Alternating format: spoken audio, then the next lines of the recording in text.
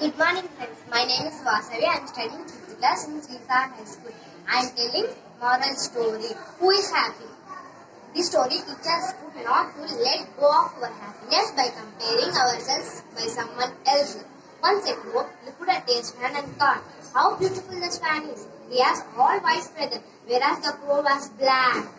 The crow expressed his thoughts to the swan. The swan replied that according to her, he is the most beautiful bird, as it has two colors and the swan has just one color.